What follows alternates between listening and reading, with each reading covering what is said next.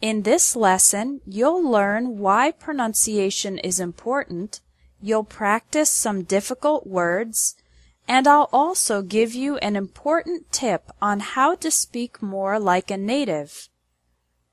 Consider this. If you are a beginner and you have a small vocabulary, but you have great pronunciation, then you can communicate simply but successfully. On the other hand, if you have advanced grammar and vocabulary, but your pronunciation is bad, then other people won't understand a single word you say. That's why good pronunciation is essential for speaking fluent English. Improving your pronunciation also increases your confidence because you know that whenever you speak, other people will understand you.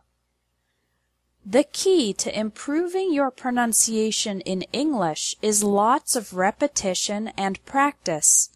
Just like physical exercise makes your body stronger, pronunciation practice trains your mouth to speak English correctly. Let's practice right now. Here are some words with similar sounds, which are difficult for many English learners to pronounce. Listen to each word and repeat it. It, eat, share, chair, wait, wet, bad, bed, ice, eyes, right, light, free, three, they, day. For more practice, you can click the links to pronunciation lessons under the video, but I want to finish this lesson with a tip for speaking English like a native. You probably already know that individual English words have stress. For example, the word English has the stress on the first syllable, ing. The word improve has the stress on the second syllable, prove. In natural spoken English, complete sentences also have stress. Let me show you an example. Listen to this sentence and try to identify the strong words.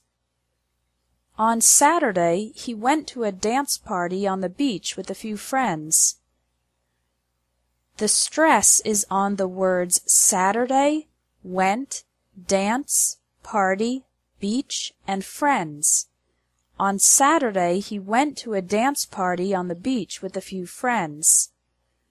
This is the general rule for strong and weak words in English sentences.